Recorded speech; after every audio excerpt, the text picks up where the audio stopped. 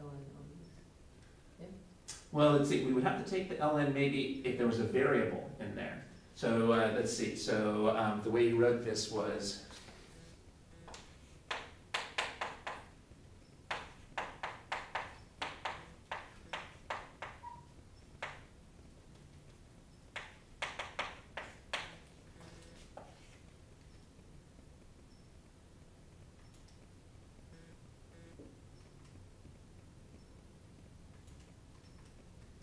So you got negative 1.4101. Mm -hmm. Okay. Yeah, we don't need to take the natural log here because these are just numbers. So we Our calculator can just handle these straightforwardly. Oh, it's going to be the negative, oh, it's going to be 2.9.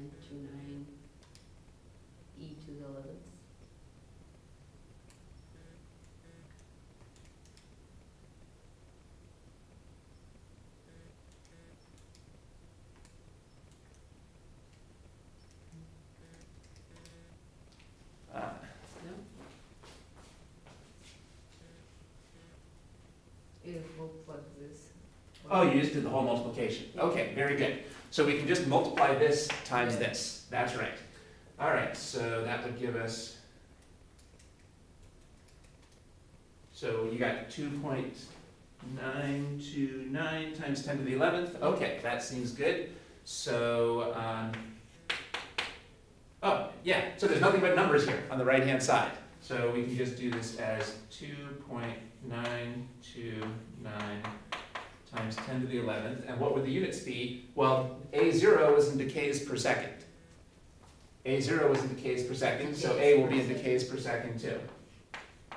And the fact that we used years for the times turns out not to matter, because those parts of the problem weren't interacting with each other. So all we had to do was make sure each part was consistent. We didn't have to do any unit conversions here, although you might on some problems. Does this match our prediction? Remember that we started with this many decays per second, and we were predicting, well, it's gotta be less than this.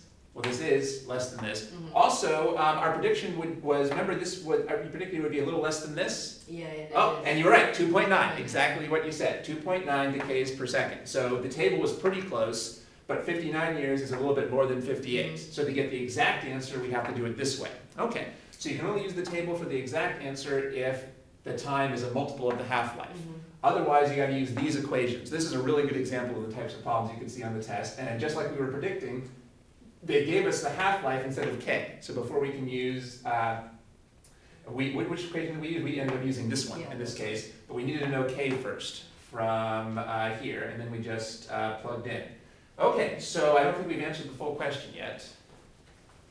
Uh, the second, it's a fraction of nuclei have, that have the E.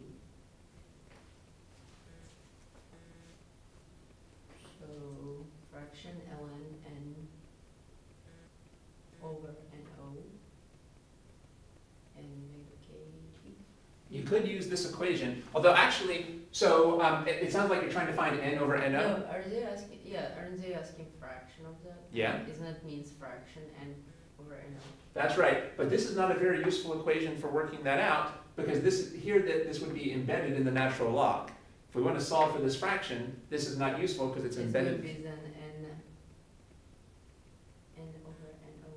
we could use this, that's right, you just have to rewrite this. But we can do even better than this, um, we can figure out already what A over AO is. How would we calculate A over AO? Um, it's gonna be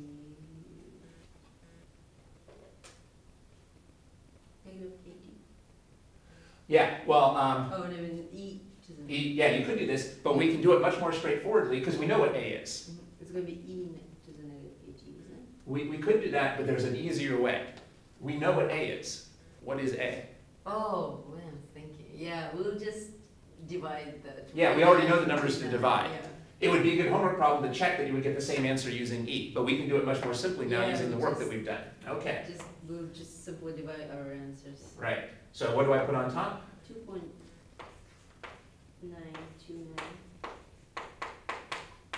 times 10 to the 11th. Divided by 1.2. Times 10 to the 12th.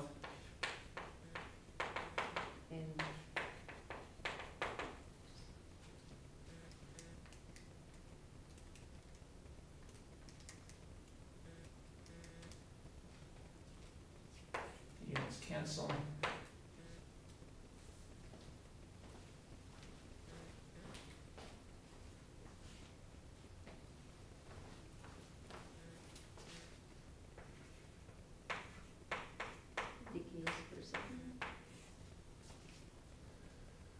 What does this tell us?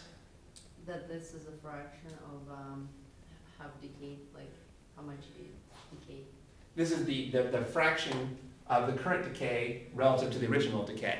Or may, maybe the easier way to put it is, uh, this also tells us n over n zero, right?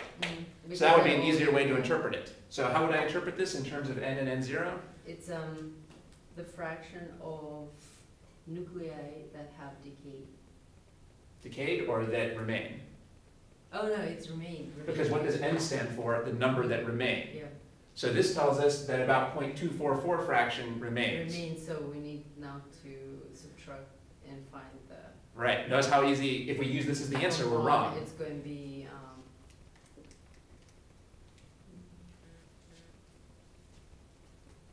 Do you, do you know how to, I mean, to go I don't know. Yeah, if you get messed up, you should always do second and then quit.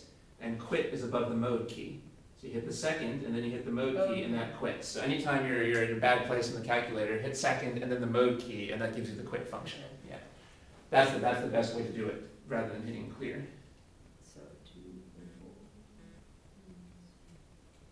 It's the, it's gonna be seven point, I mean, zero point seven five six. So what's the calculation we should do?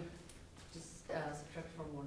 Yeah, not this minus one, but one minus Yeah, this. One minus. Two. One minus this will give you a positive 0.756.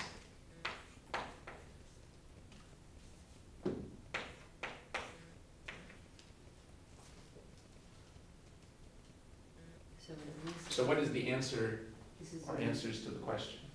Number of remaining, yeah.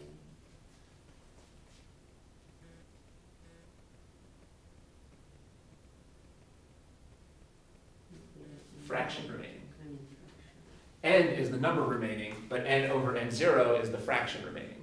Notice that when we do these divisions, the units will cancel. Since the units cancel, this is just a fraction. It's not the number or the decays per second, it's just a fraction. So it's gonna be numbers.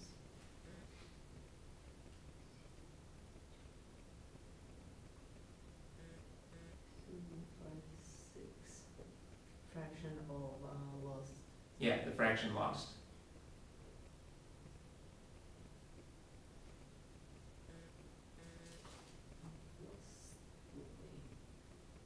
That's it? So what's the answer, what are the answers to the question? Uh, it's gonna be.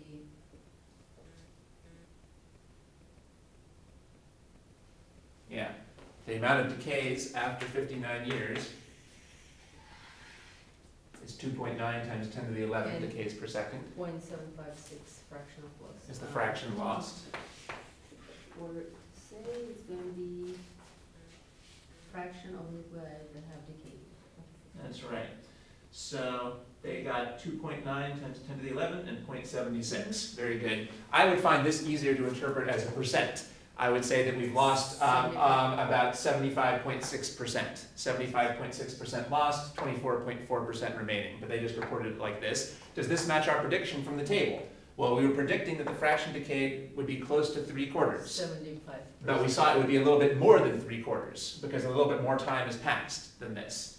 Um, so both of our answers match our predictions from the table, but we couldn't get exact answers without doing this. Mhm. All right, again, it would be a good homework problem to show that you could also figure out this ratio by using e to the negative kt. But we don't need to do that here because we know what a and a zero are, so from our previous work. Okay, so now you're seeing, uh, we can see why all the work that we did before goes into, all- all the stuff that we're talking about is tested here. They're talking, we have to see that the ratio between the a's is the same as the ratio between the n's, so we can use similar formulas um, for these. Uh, we have to figure out which is the best formula to use. One thing that didn't give me any trouble was seeing how to figure out k from the half-life, so it's good that you thought about I that. I had a hard time with setting up table first. The table is That's- tough. Notice that if you wanted to, you could have skipped the table. No, but I mean, it's. It- It's good practice. I would Yeah. make mistakes because I, if- Yeah. because it does help me to see. Yeah. uh, Oh yeah, so I don't think we should skip it. Um, so this is really good practice for getting a better intuition for what's going on here. Do this column first. then this column, then this column, and then you might need some additional columns. Uh, technically, we didn't need the table at all. Technically, we could have done this purely mathematically, but we have much more intuition for what we're doing if we try to use the table as well. But the table can only give us an approximation um, in this case. Um, so you have to be, label everything correctly. Originally, we had labeled this as A, but it's not A, it's A zero. Zero. Otherwise, we don't know what to plug in. You did label the times correctly, so that was good. We have to see what the question is asking us for here, um, which was A. So this would definitely be an important problem to try again.